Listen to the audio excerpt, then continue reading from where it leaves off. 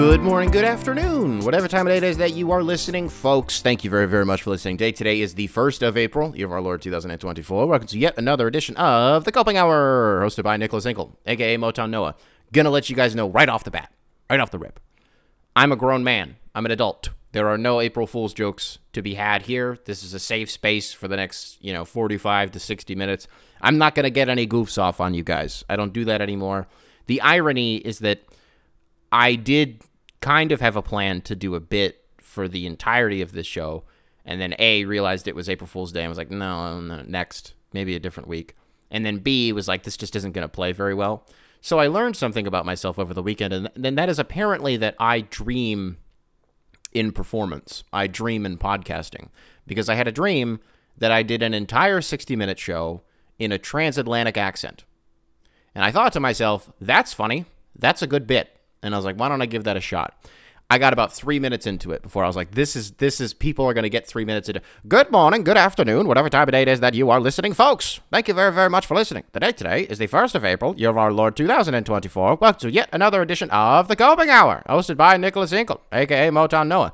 You get three to five minutes into that. It's all right. Next, we get what you're doing. We get the bit. Like, can you please just go back to talking normal? Just wasn't that funny. It was not funny enough. And then I was like, what are, what are some other accents that I could do? And I was like, how about I just talk? How about I just do the damn show the way that I'm supposed to do the show? So that's what we're going to do today. And my gift to you guys, because I don't know if you've seen this and I don't know if you've heard about this. Well, I guess I'm recording this a day early for no reason other than I just wanted to. I just had the itch to, to I don't know, sit down and talk for a little bit. So I'm going to. Today's Easter, or as of the day that you're listening, that Sunday was Easter. Had no idea. Had no idea until about noon. My girlfriend goes into work and she's like, "Hey," she's like, "I got to work really fast. There's like no traffic." I was like, "Huh, that's weird." She goes, "Oh, it's Easter." Oh, I had no idea. So happy late Easter to everybody out. Is Ramadan still going on? You guys fasting? Don't break your fast. Don't break your fast. Better NBA player. Untucked Kyrie or Ramadan Kyrie? Has anybody have that had that discussion yet? Has anybody uh, delved into the stats on that one? Although it would be difficult with untucked Kyrie because there's not, they don't track that. With Ramadan Kyrie, that would be easy to sort of look into, but untucked, you wouldn't really be able to do that. So for all intents and purposes, recency bias, we're gonna go with Ramadan Kyrie is the greatest iteration of a player. Last week we talked about like March, Jalen Green, Hoodie Melo, Game Six Klay, all this stuff, untucked Kyrie. We did not. We it was a glaring omission of Ramadan Kyrie, so we're gonna throw him in there. I think my April Fool's Day, not uh, goof that I'm gonna pull over on you guys, but my gift to you guys rather, is going to be for this episode exclusively. No intrusive thoughts by me, and no tangents, no tangents, and if there are, there'll be marginal ones that are related that we can easily circle back to what we were supposed to originally be talking about. So for a tight 45 to 60 today, we're going to stick to the meat and potatoes of this episode. And for the first uh, portion, for the front nine of today's episode, I wanted to talk about some teams that I've enjoyed watching this season in a way that I kind of didn't expect. And I'm not just talking about like, oh, wow, I really enjoyed watching Milwaukee this year. Shocker. That's like my whole deal. That's like what I do, right? I want to start with Dallas because even though I went into the year knowing how I felt about them, knowing how I felt about Jason Kidd being a bad coach, knowing how I felt about Luka being one of the greatest players I've literally ever seen play in my life, there's something to be said about the way that they've captivated me. And I think as of this recording, they're on a six game winning streak, heading into the playoffs on a hot streak, sort of the inverse of what the Clippers have been doing, kind of this. Uh, collapse. Kind of weird that you watch the Clippers on. Nope, this is a tangent. This is a tangent. So the Dallas Mavericks. Here's why I like them so much, because I don't know if there's a backcourt in the. I'm not going to do the whole thing. Is this the best backcourt in the NBA? I don't give a shit about that. But it's definitely a backcourt that I enjoy watching more than anybody else between Luka and Kyrie. And an, a mental exercise that I was doing the other night when it was uh, the the Kings and the Mavs were playing is you see Luka and Kyrie participate in this my turn, your turn, you know, style of play from time to time. And I think the closest iteration to that is what we have in Boston with the Jays.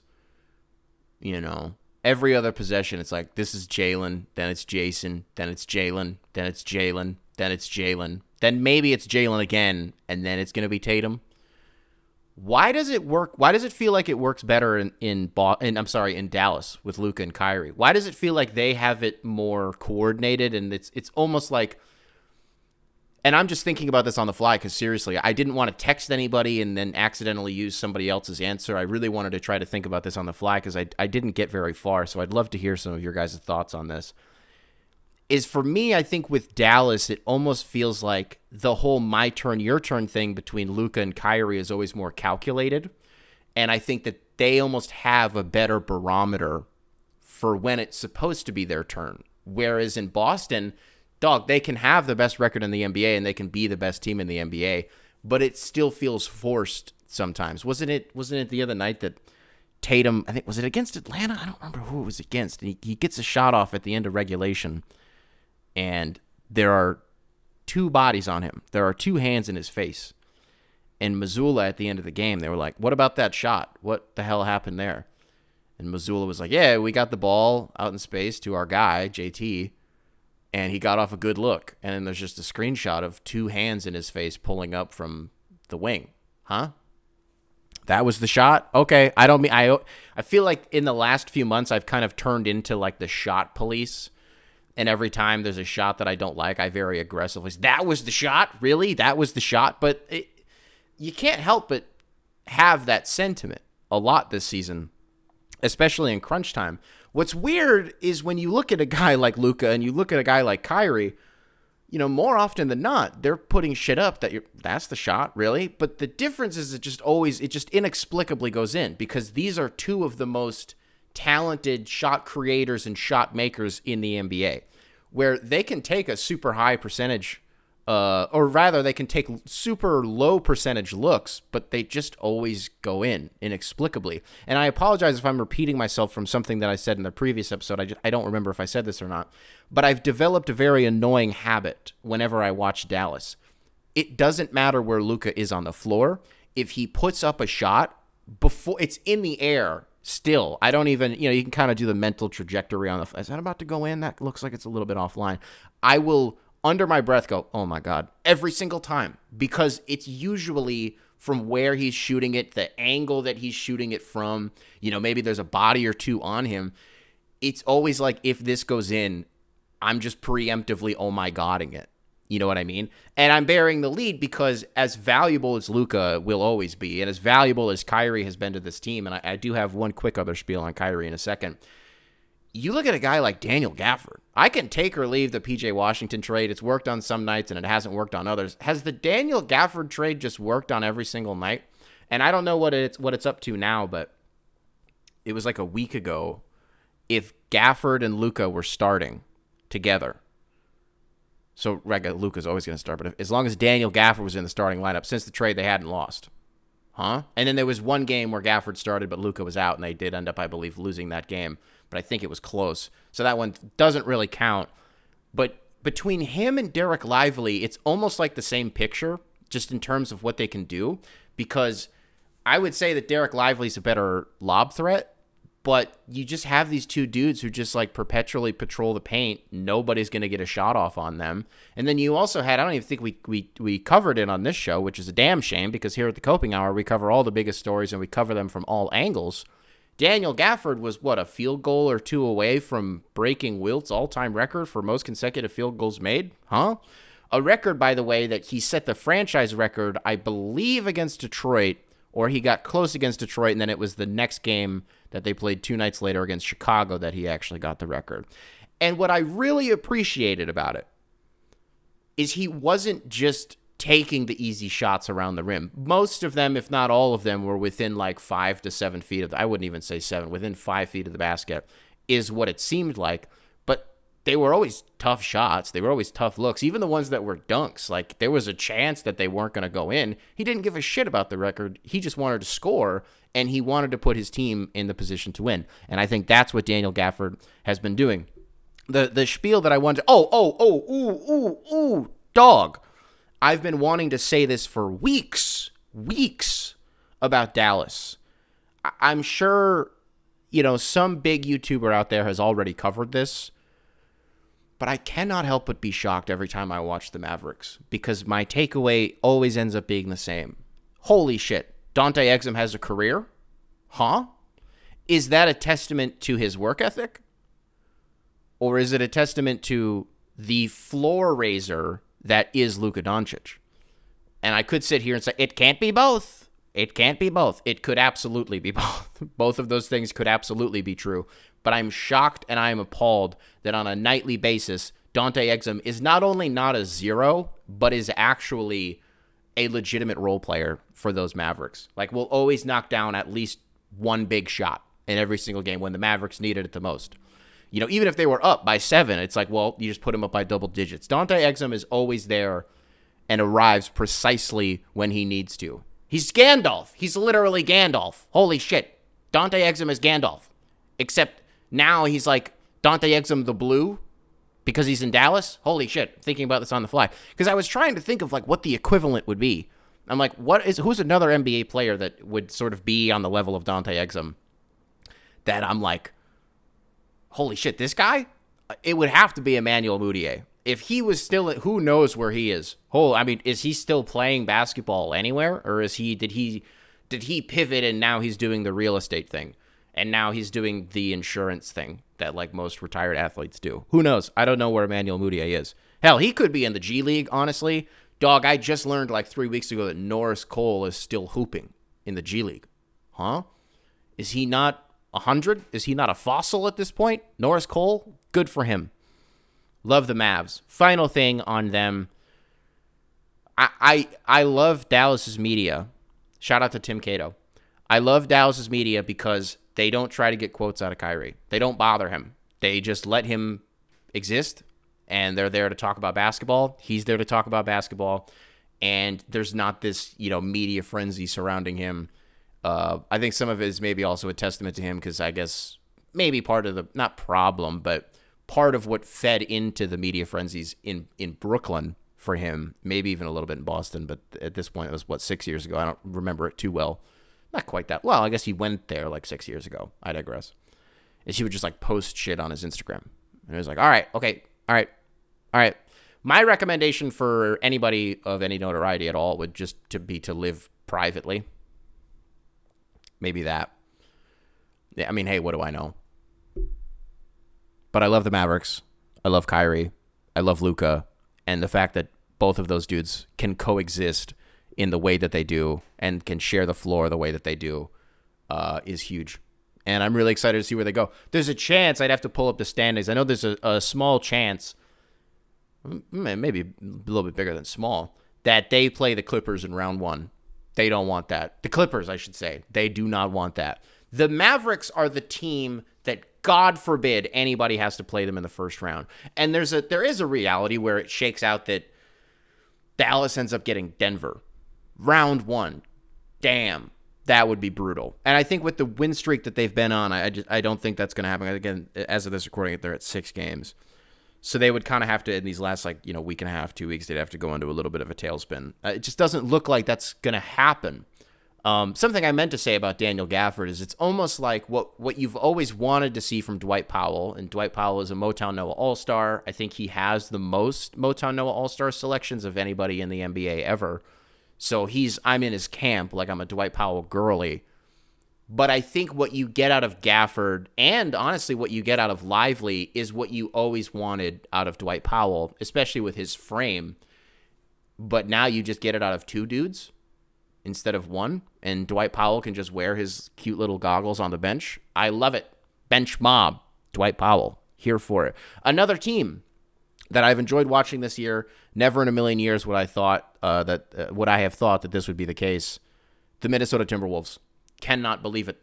Not even sick to my stomach can't believe it. Excited, honestly, because my cat agenda was finally right until he decided that he wanted to put up 60 and then didn't want to do anything else and was like, I'm only here to score today. And then that game was against Charlotte, right? Brutal team to lose against. It's one thing to put up 60 on Charlotte. It's like, wow, cool. You know, it's Charlotte, a team that is so content with losing that everybody in the organization is like, these kids are losers. like, these kids are, are way too complacent with losing. They lost to that. But otherwise, my agenda has been proven correct, and and I'm wishing Karl-Anthony Towns a speedy recovery. Hopefully, you know what they should do? Here's what they should do. They should fly Karl-Anthony Towns to Germany and hook him up with whatever Operation Paperclip bullshit scientist they gave Kobe for was it his knee or his Achilles, and they just injected him with some shit, and then like six weeks later, Kobe was like, "I'm straight up, I'm back." Do that, Karl-Anthony Towns. Just go to Germany and just and just do that. Just get on a plane and say Operation Paperclip, and they'll know exactly what you're talking about other than that, I mean, hey, Rudy Gobert just shut down Jokic the other day. I should say a uh, and the Nuggets in general, a Jamal Murrayless Denver Nuggets.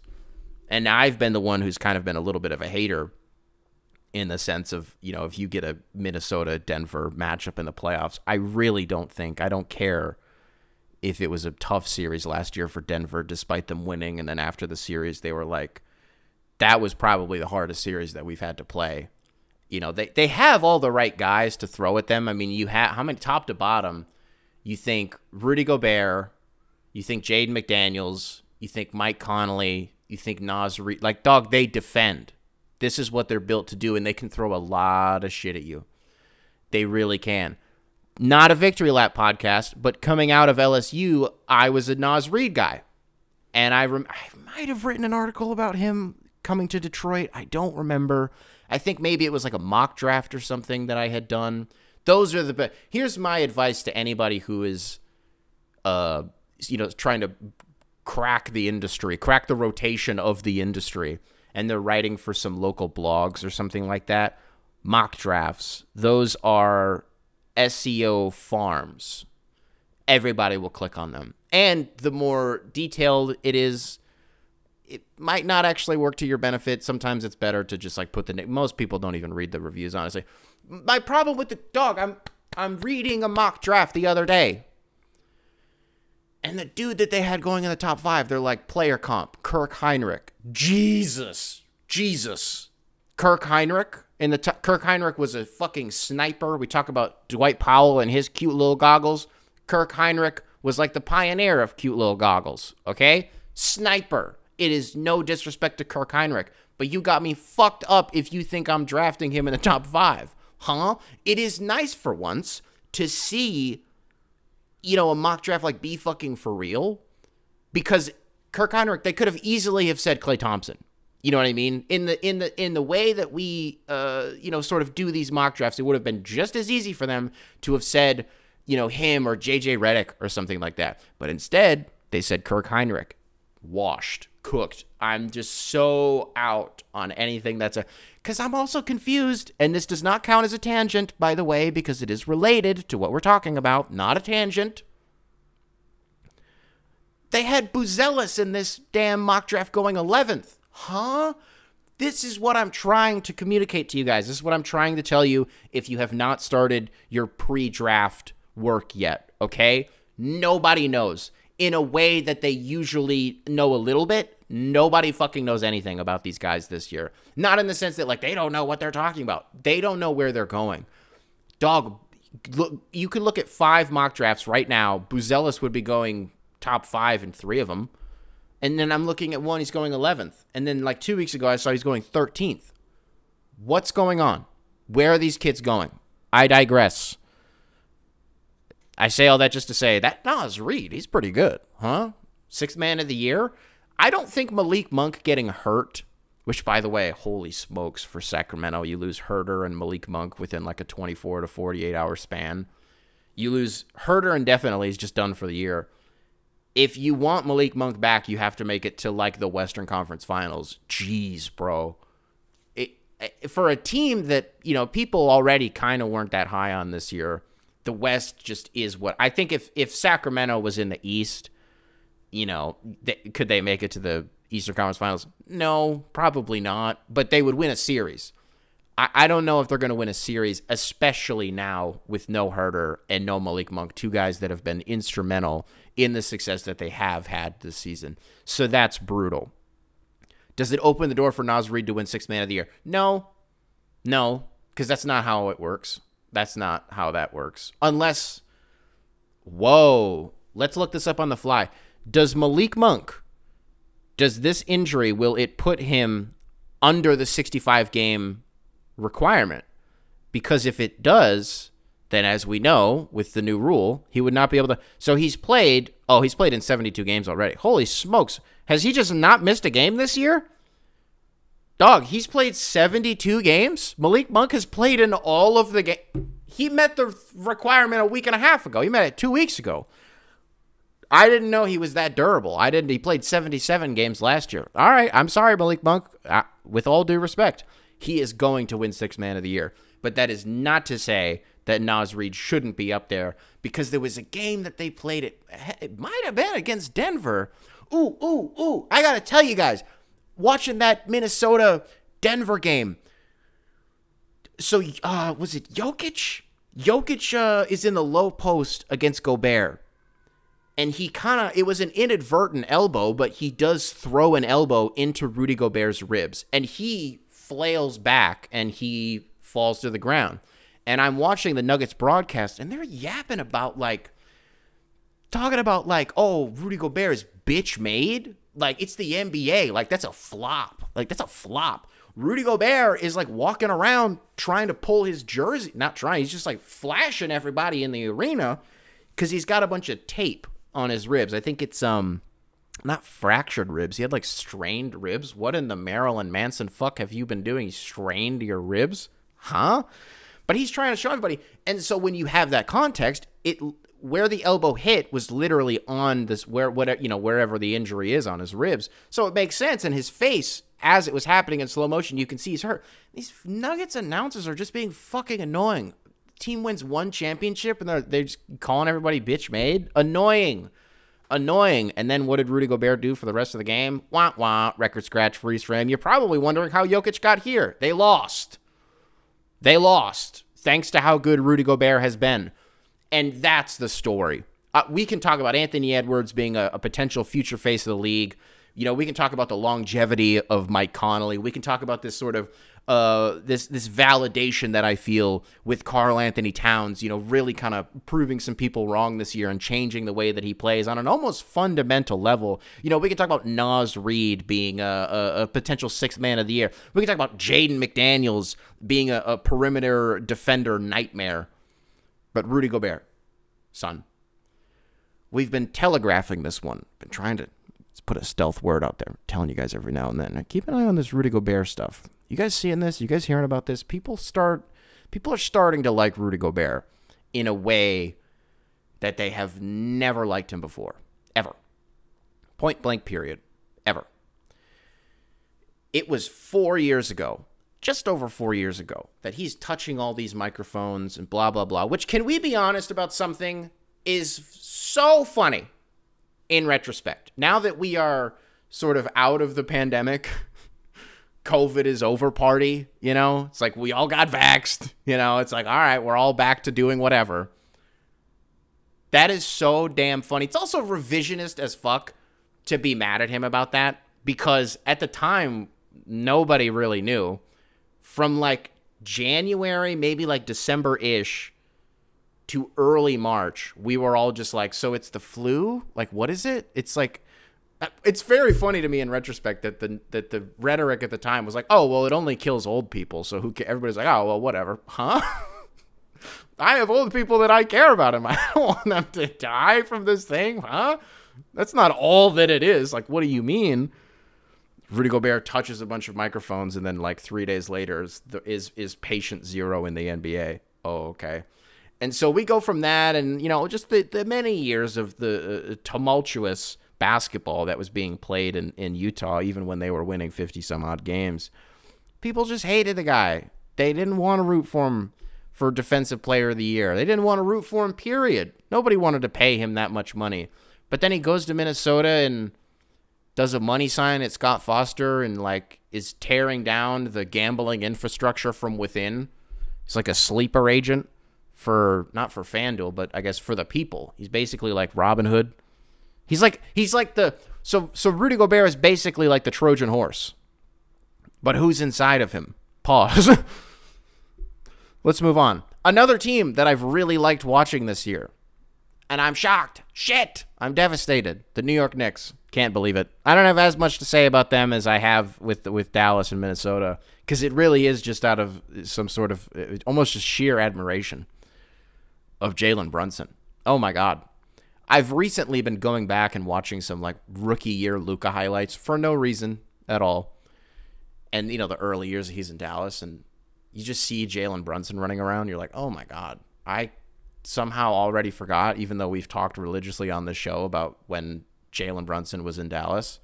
You just forget that that was a thing. But now they have Kyrie and you look at you look at how long Dallas. Not that I immediately segue to the Knicks and then I go back to Dallas. You look at how long Dallas just had a bullshit roster that you you really tried to convince yourself that it was like, oh no, they got some, you know, they got some stuff.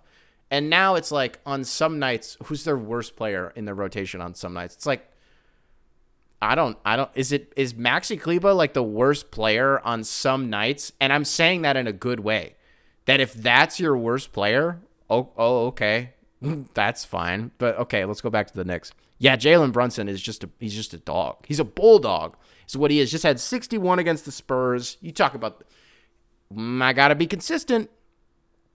And I didn't watch the Knicks game. I don't know what happened. I don't really know a ton of the context. I saw a few highlights here and there, but I don't I don't know if was Jalen Brunson not playing defense in that game. I fucking doubt it a little bit, honestly. I made fun of Karl-Anthony Towns for giving the Hornets 60, which um, again I still don't remember if it was actually the Hornets, but I'm almost positive it was. So I apologize if it wasn't. And this point doesn't matter. And then Brunson, who I also really like, gives the Spurs 60 and loses, and it's crickets from me. The coping hour will form a response and get back to you on this because I have nothing on it right now. I, I cannot I cannot defend myself at this time against these allegations. But I talk about Daniel Gafford getting traded to Dallas being just such a damn effective trade. OG Anunoby to the Knicks was really what swung the pendulum for me. It just felt like it was exactly what they needed. And even coming into the season, I'm like, if you're gonna bring in Donte DiVincenzo, like, and you're gonna, you know, I love Hartenstein, and the way that like DiVincenzo and Josh Hart and OG and Hartenstein will show up on some of these nights. Glaring omission of Julius Randle, by the way, will show up on some of these nights. They're just fun to root for. I don't love when Josh Hart plays like 40 plus. I just hate it. Cause if I'm if I want somebody to play 40 plus, I want it to be like okay, this is about to be like a very guy who, dude, you don't even care about basketball, you just care about entertainment yeah. I would rather see somebody cool play 40 plus minutes. And I get that Josh Hart has to do it because of the way that he impacts a game and it, it increases their chances of winning. I get it because he just does all the right stuff. Uh, but it's like, so he can play 40 plus, but God forbid when like Joel Embiid is, is knocking on the door of 80 or Luka knocking on the door of, well, didn't Luka play big minutes in that game actually? I'm saying all this just to say it's like when a star puts up 100 points in 13 minutes and then the coach is like, gotta take him out. Can't keep chasing records. Oh, okay. Josh Hart over here playing 48 fucking minutes. All right, fine. And I love Josh Hart. And I love Josh Hart. He and Brunson just did a thing on Hot Ones and it was incredible. It was very, very, very funny. Those two dudes are incredible. I don't really listen to their podcast that much, but I will say this Isaiah Hartenstein being like one one hundredth black story has has way more legs than I thought it was going to. I did, I thought it was going to be like after one day, people, wow, that's funny, and then they just stopped. talking. people still talking. It's been like three or four days. People are still talking. I didn't think it was that interesting. I mean, it's I mean, it's it's inherently interesting. So I was like, oh wow, I didn't know that. That's interesting. But then there's the the crowd of people out there who are like, he's not black, he's mixed just because you have a dad who's half black doesn't make you black. And I was like, wait, uh, so he's mixed. And then I was like, is that not, you know who's been really quiet? Nope, that's an intrusive thought. That's, ooh, that's an intrusive thought. That's an intrusive thought. And I'm, because it was about Israel and Palestine and the black Hebrew Israelites. So we're going to move on. Let's move on.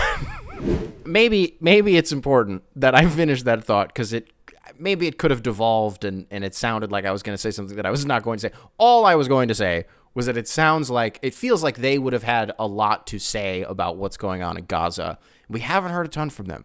Maybe it's just because they're not like marching. Why were they? What was their deal? Why were they outside of Barclays Center, like protesting the Nets. Or so, oh, oh, it was it was exactly what I was talking about earlier with like Kyrie posting shit on IG. Didn't he post? It was like a quote or something from a documentary, and in the documentary, it promoted like Holocaust denial themes or something. And then people were like, "No, you're misconstruing what Kyrie is saying." And then the Black Hebrew Israelites showed up and were like throwing books at people or some bullshit for like a week or I don't I don't that was too long ago. I don't remember what happened with that. But I derailed myself. I didn't get to finish the point about the Knicks that I wanted to make. All I was going to say was I don't I don't think a, a lot of us are thinking that New York is going to make this like extravagant finals run, but there's certainly a path for them to get it to get to the conference finals, right? That that infrastructure exists. But what you're going to need if you're in New York is I don't think you can get it from Brunson for four straight games, and I don't think you can get it out of him for you know seven games. It's it's gonna be contingent on whether or not Julius Randle is asleep at the wheel in the playoffs because that's what they're gonna need. You know they they have the role players around them. It's just gonna be they they just need that strong number two to do his fucking job, and I'm just a little because when it works for him I mean, at its lowest with Julius Randle, it's like jab, jab, jab, jab, jab, 17 foot pull up, brick. And if that's the you know if that's the iteration that we're getting, I don't I don't know. So I'm I want it to happen for them, but what sucks is if it's gonna happen for them, then somebody's gonna have to go through Milwaukee, and I would rather that not be the Knicks. So let's do an email, copinghoursubs at gmail.com, spelled out phonetically. The email will be available in the description of wherever you listen to this show. If you want to send something in, have it read on the air. This email comes into us from Ryan. Ryan, welcome to the show. Subject line Bad Vibes, starting five. Greetings from Dallas. Ooh, Dallas. You probably loved the front nine of this episode. Had a lot of love for your boys down there. Back to the email. I can't remember what episode it was, but I know you have mentioned previously that if you were to make a bad vibe starting five, Jimmy Butler would be a no brainer. As an avid coper, I feel like I would have remembered you completing this starting five at some point. So would you care to give us an all time bad vibe starting five? To clarify for the copers at home, wow, he's giving you guys some instructions. I love this, Ryan. To clarify for the copers at home, this should not include players who have been proven criminals slash awful guys like Karl Malone, Miles Bridges, Kevin Porter Jr., etc. This is a list of guys whose vibes are just off and generally unappealing. Much love, Ryan. This is an important distinction that it would be super it's a low-hanging fruit to throw those guys. Oh, Josh Primo is your point guard. I gotta tell you, man, I gotta tell you, and I apologize if I've told this story on the show before. I think I have I think I have. I'm going to give you the super condensed version. You want to talk about, I love talking about players that I was right about or, or players that I was wrong about and shit like that.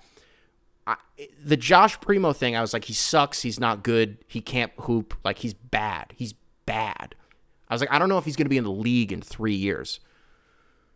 Well, and then I ended up being right, but I didn't. I didn't telegraph it the way that I should have. I didn't call my shot. I didn't say what I was saying was that he wasn't going to be in the league because he stinks.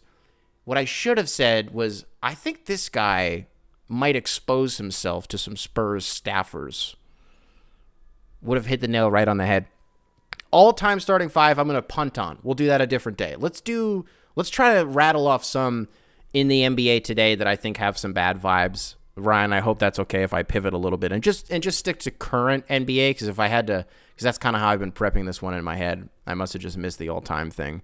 We're going to start with Jimmy, a positionless all time. I'm sorry, a positionless bad vibe starting five. We're going to start with Jimmy Butler. I think a venture capitalist. I think the epitome of like alpha culture, even if it's a bit, I hate it. Well, it's not, though. It's not with him. It's just not. The funniest thing, like to say something nice about him before I keep being mean, the funniest thing about him is the media day shit. How he'll the last two years he'll just he'll just make sure that his media day photo is as stupid as it can possibly be. So that way for the entirety of the season, anytime or in like 2K, anytime that somebody wants to use a photo of Jimmy Butler, he looks uh, ridiculous. That's funny. That's a good bit. But otherwise, yeah, this whole mentality of like, I'm just inherently better is annoying. Selling $25 cups of coffee is annoying to me. Even if it's to millionaires, it's annoying. I don't know. I feel like I've just done this spiel too many times and I'm kind of bored of doing it. I just don't like him. I just don't like him at all. like, there's not an NBA player ever that I like actually real life don't like. Because usually I'm just like, it's basketball. It's whatever. Like, as a dude, they're probably a solid dude. I don't believe he's a good guy. I like, I don't believe he's a solid dude. I, I don't. I don't. And what sucks is every time for the last three or four years that March and April roll around, or hell, May and June, if you're Jimmy Butler, he's lights out. And you have to reconcile with that. And as somebody who doesn't like him, and you have to have an honest conversation. You have to look in the mirror and be like, is it me? Is it me? Because for the first six months of the season, he's a top 25 player in the NBA. He's a top 20 player in the NBA. You make him play basketball April through June, he's top seven. Huh? It's fucking annoying. It's infuriating. And I think it might be the first instance of a player who is really embrace not I'm not saying he doesn't care about the regular season, but he does not play the same in the regular season as he does in the playoffs. And I think he's the he's kind of the first player that we're starting to see truly embrace pioneering this whole like I'll turn it on in the playoffs. I don't give a shit about the first 82. All that matters is that we end up in the playoffs or the play in, right? And then we'll just like accidentally our way into making a finals run. Okay, cool. Good for Jimmy. Cool. Who else do I want to put on here? I don't think you guys are going to like this. I don't think you guys are going to like this. Paolo Banchero? Mmm. Mmm. Kind of bad vibes. Kind of bad vibes. Not a huge fan it's not like an arrogance thing. I just think he, I don't know how to describe it because he's good. He's good.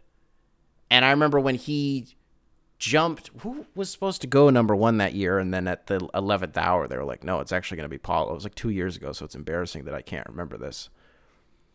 But I was like, hell no. Hell no. The guy who has to wear like six different jerseys in a single college basketball game because he sweats too much. It's not a not an intended stray at people who sweat too much. Hey, we've all been there, right?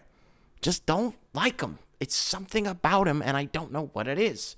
But if you watch him in these pressers, he's just an asshole.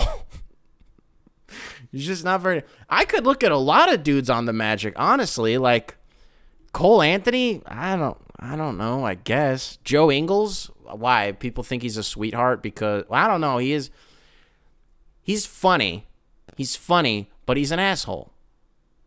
Anthony Black, dweeb. Like, I don't know. Look, a lot of these guys. Jonathan Isaac, that's a good one. There's, you know what? If I could, if I have to pick one person on the Magic, if I can only pick one person on the Magic, I'm going to go with Jonathan Isaac. Who's another one? Like, I, I would love to throw Austin Reaves on here. He's a nice guy. Unfortunately, he's a nice guy. Ben Simmons, how do you guys feel about that one? You guys want to throw Ben Simmons on here? Is there a if can I take an honest look in the mirror, go down the ooh ooh if I yeah here we go. Uh, for the Pistons, I'm trying to think like if I had to pick someone on the Pistons, who would I do? See, is what sucks, Ryan, is I'm just not. It's not that I'm not taking your emails seriously, but I'm I'm more or less just kind of going down these rosters on the fly and being like, this guy's vibes, they are not good. It maybe would be better if I just had a if I really spent like an hour and threw together a more concise list sort of just throwing together a bunch of honorable mentions. Buddy Boeheim. If I had to pick someone from Detroit, Nepo baby. It's pretty much all I need to say. Malachi Flynn, don't love him. Evan Fournier, that's a good one. Bad vibes. Just kind of perpetually has a, has had a hard time since he's left Orlando, kind of finding his rhythm and sort of carving out a, a, legitimate role. I mean, he's been on the move, what, twice, so it's not necessarily his fault. He's playing for a bad team. James Wiseman, there's another good one. Horrible vibes. You know who does not have bad vibes? Taj Gibson, amazing vibes. People are going to say, Nick, it, maybe a glaring omission of Isaiah Stewart there. Why? What has he done? What did Isaiah Stewart do wrong? Did I miss something? Did I miss a fucking headline? Did I miss a 4chan conspiracy theory? He's a sweetheart. He hasn't done anything wrong in his fucking life. Maybe you need to look in the mirror if you think something's wrong with Isaiah Stewart. Like, it, if you threw a Grady Dick, do I want to throw him on here just through virtue of his name? I don't know. You look at the you look at the the the, the Raptors, Jontay Porter. We did say no criminals. Are does was is are these allegations regarding betting irregularities surrounding Jontay Porter? Does it constitute criminality or criminal behavior? Because I think we kind of have to put a pin in that one. I could easily pick his brother. Could easily pick Michael Porter Jr. There you go, Nick. Pick someone from a good team for once. All these low. Although I said some from the Magic, and they're like just an inherently good team. Who's coaching this team? Monty Williams, probably like all time bet. Well, that's what sucks about him is he's a good dude. He's a good dude. So maybe that's what I should do is I should pick a coach who is bad and his it, Steve Clifford. Steve Clifford seems like a dick. Maybe him. Quin Snyder's always kind of seemed a little weaselly to me. I think he's somewhere between. He's had good seasons as a coach, but it's something about him. His hair is always kind of. It's almost always a little too perfect. Bothers me. Oh, not in like the Chuck Daly way where it's just. It's it's almost it's it's refined like it was made in a factory. In the most in the best way possible. Something about Quin Snyder. Eh you go down the list in Houston, I mean, just to move on to a different team here. Here's my thing. I didn't finish this on Buddy Boeheim. Why? Why is he still here? And you're to, like, I don't know what it is. Oh, fuck. Right, right. Okay, so the reason that Buddy Boeheim is in Detroit is because one of the first, I think, scouting jobs that Troy Weaver ever had was with Syracuse, I believe. And at the time, that would have meant that Jim Boeheim would have been the coach. Obviously, he's a coach for fucking 40 years. And then just, I guess, through virtue of that, Jim Boeheim is at a lot of Pistons games. Actually, he was at the one that I went to uh, in December against Brooklyn. He was there. He was sitting like three rows in front of us. I was like, holy shit, wow, that's Jim Boeheim. That's like an all time, like, actually, though, like an all time basketball coach. So that was actually kind of cool. Are we are we putting Grayson Allen on there, or has he kind of gotten over that? Has he like made enough threes in his career and has kind of stuck around long enough that you almost don't even associate him with Duke anymore? But but it, but it's through virtue of that and through virtue of like his shenanigans and horse shittery that you is it is it never forget with Grayson Allen or have we forgotten? I'll leave that one up to you guys. We'll put a pin in it. We'll leave him as like a reserve. Drew Eubanks. Drew Eubanks. Drew Eubanks is on there. He's a liar. Um, yeah, he's a liar. That's all. He's a liar. So Drew Eubanks is definitely on there. Draymond feels like a really low hanging fruit as well. Uh, what do you want me to do? Dog, this you guys see this clip of him? He tried to kick Grant Williams in the nuts. I don't know how it didn't connect. It would it must have been like millimeters away. There was definitely some grazing that happened. If it connected, Draymond's out 2 weeks. It was bad. It was bad. And finally, to wrap this thing up, Ryan, I've given you about 15 names here. But I stuck to the damn email, by the way. Jordan Poole. Jordan Poole the worst, the worst, the worst loser in basketball right now. And by the way, I don't know if you guys saw this, and I don't know if you guys heard about this. Did you see that loser Super Bowl that happened on Friday? Old Pistons versus Wizards in DC. You see who came out on top in that one. Try as the Pistons liked to lose that game, up by like 15 in the second quarter the Wizards outscored us by like 13 or 14 in the third quarter. Really tried to come back. They really tried, but they stink. They stink too. I don't give a damn if they have if they still have one more win than us. I don't give a damn if all that did was tie the season series at 2 to 2. At this point, it's like don't be that team who loses a season series to the Washington Wizards. Honestly, the funniest part about that game is how much it sucked for even the even when the Pistons are going up 15, God damn, that was a grueling 48 minutes to sit through for either team. Holy smokes. I, I cared that we won and I cared that we were winning for most of it.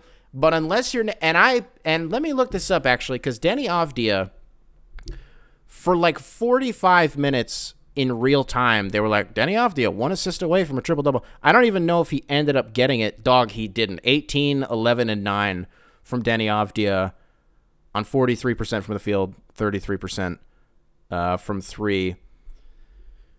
I've kind of been mean to him. I've kind of been mean to him, and for, for well, I think it's for shit that's been rooted in reality. But since the All Star break, Deni's been good. Deni has been great, and he like has added a gear to him. Like I don't know how to articulate this. He's just faster. Like he's playing faster when like he'll bring the ball up the floor sometimes, and he'll he like he really gets moving. Like he'll do some shit. He'll set like a flare screen or a highway screen or something, and he'll just dart to the basket. You're like, huh? You're like Deni Avdija's got wheels. When the fuck did this happen? So good for him. I've been mean to him, but I I I don't like him yet. But he's he doesn't stink. Deni Avdija does not stink. And the Wizards had like eight chances to make it a legitimate game, and they just couldn't. Drew Gooden as a broadcaster. I'm blanking on who the the guy who does play by play for the Wizards. He's good and I like him. Drew Gooden is a he, he's somewhere between being too much of a homer to where it's like annoying. Like the two worst color commentators in basketball for like the local broadcast. Scal in Boston and Stacey King in Chicago. Holy shit, please shut up. Please, I'm begging you, stop talking, hire somebody else. They're the worst. Drew Gooden is not on their level. He just cares very deeply about the team, and that's not something I can fault him for. It's just sometimes when I'm a fan of the team that they're playing against and he just like says random shit that isn't even true, I get a little bit annoyed. But it's just for the love of the game. It's Drew Gooden. Not quite an NBA legend, but a guy who was in the league and I I respected while he was playing. Wasn't he on the was he was on the LeBron 2007 team, right? That went to the finals against the Spurs when it was like nobody on the team. It was like Eric Snow. Was Shannon Brown there yet? Varejao, Ilgauskas. Drew Gooden was on one of those teams. I, was he was he there? So I don't have beef with him, but he's somewhere between oh my god, shut up and like this guy's funny. So I don't know. That is the all-time bad vibes starting five, ladies and gentlemen. There was also some people we did the like the dream blunt rotation on Friday for NBA players. Uh, some I want to highlight, I guess, some comments that you guys left. Uh, leaving Bill Walton off the list, I would agree with you, was a misfire by me. Leaving Brandon Ingram off the list, misfire by me. That one's a fucking layup. Brandon Ingram, are you? I'm, uh, he's got to be one of those players who when you hear these stories and these statistics about like how many players play while high, uh, Brandon Ingram just has to be one of them, right? Bill Walton surely was one of them. Bill Walton doesn't do anything anymore without being like zonked out of his mind. You listen to him and Dave Pasch do a broadcast. I don't know how he hasn't fucking killed Bill Walton yet. he will talk about anything. It's worse than me. Like he'll talk about anything. He'll talk about anything nightmare blunt rotation in the NBA. This is impromptu. I didn't even really put any thought into this. I just figured, well, I guess it kind of makes sense to do this on the on the tail end of it. I don't know. A lot of the guys I just named, honestly, I don't want to smoke weed with Jordan Poole. What is he going to do? Like call me a pussy and then I have to fight him? Ooh. Oh, hey, I screenshotted something that I wanted to I wanted to read to you guys cuz I, I never I never went back to this. So this was an article from country1025.com. 6% of Americans think that they could beat up a grizzly bear. You seen this? You heard about this? I'm only bringing this up because I don't know if it's I don't know if it's me or if it's you guys. Truly. One of us is dumb as hell. The amount of you guys like nobody agreed with me when the when somebody emailed in like a week or two ago and they were like, "Hey, silverback gorilla versus a grizzly bear, who's winning? And I was like, I'm picking the gorilla 100 times out of 100. No one agreed with me. Nobody. All of you were like, you are stupid as fuck. The grizzly bear would kick the shit out of the gorilla. One of us is dumb here. Here's my question to you guys. Here's my question.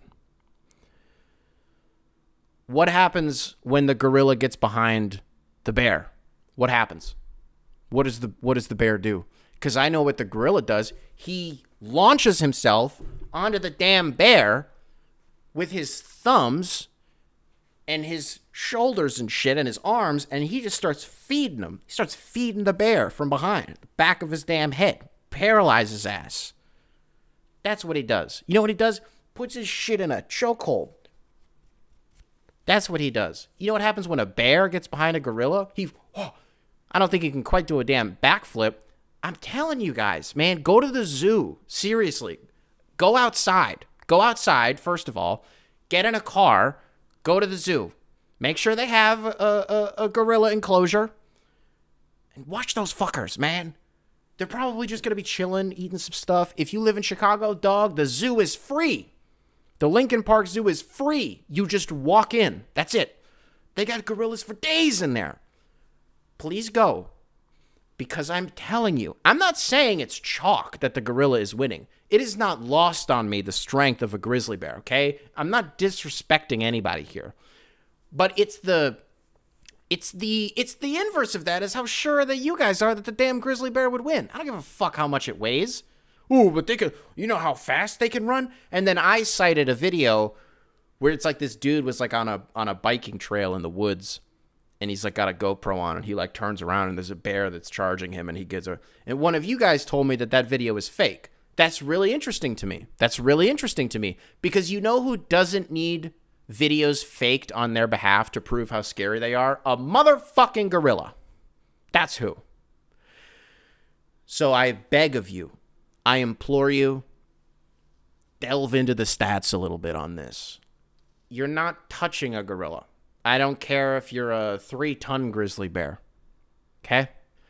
Coming out of hibernation. Oh man, all sleepy, and then bam from the sky a gorilla. No, we'll give the grizzly bear as much time as he needs to train. We'll put him in the ring with in the octagon with whoever he needs. Okay? But what happens when the gorilla gets behind the bear? I don't think a, a grizzly bear can really. What's their turn radius? Can they really turn on a dime like that? Because if the gorilla starts going, if he starts moving laterally, it's a wrap, man. Oh, is it is the grizzly bear gonna stand up? What does that? Bam! Right in the gut. Like, what are you talking about? Who cares? You know, a grizzly bear when he stands up, he can be eight and a half feet tall. I don't give a fuck. Haymaker, bam! Feed him right in the chin. He's asleep. He's snoring. Send his ass back into hibernation. I'm telling you guys. At the risk of sounding like I'm calling you guys stupid as fuck, you're stupid as fuck. Come on. Think. Not to sound like R. Kelly, but use your common sense. Please. I'm begging you. The gorilla's gonna win. Have you seen. I've never seen a grizzly bear use sign language. Never see. And what does that have to do with fighting? I don't know. It's their capacity to learn shit. What does a grizzly bear know how to do?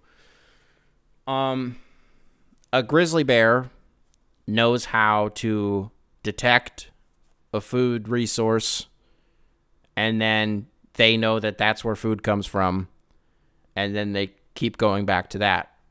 You know what's food to a grizzly bear?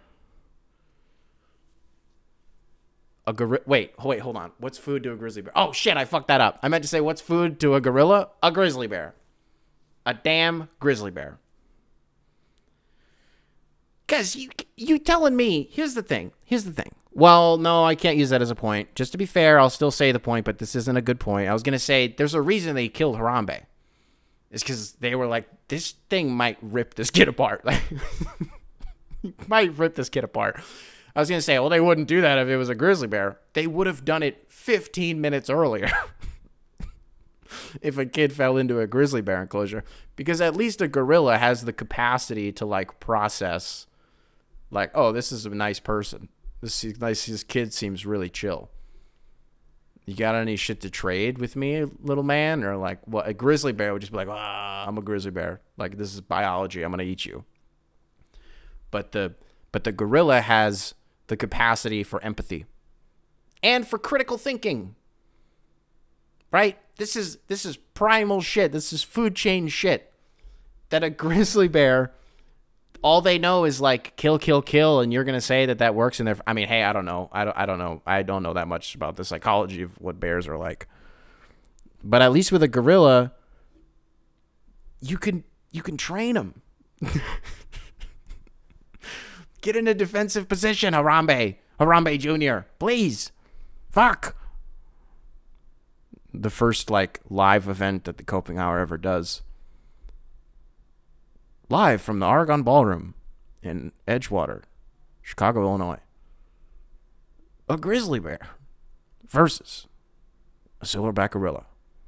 MC'd by Motown Noah. Let's move on. You know what I'm gonna do? I'm gonna because I, I should have just wrapped up the show. I don't know why. I was like, let's move on. I have shit else to talk about. I'm gonna release this a day early. You guys are gonna get a Sunday episode. Yeah.